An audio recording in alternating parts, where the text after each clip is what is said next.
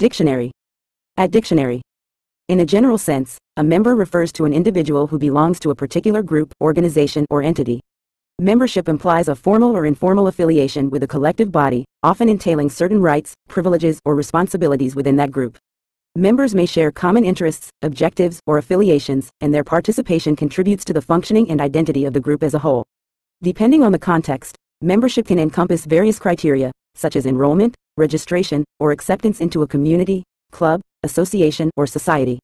Being a member often involves active engagement, collaboration, or contribution towards the shared goals or activities of the group, fostering a sense of belonging and camaraderie among its constituents.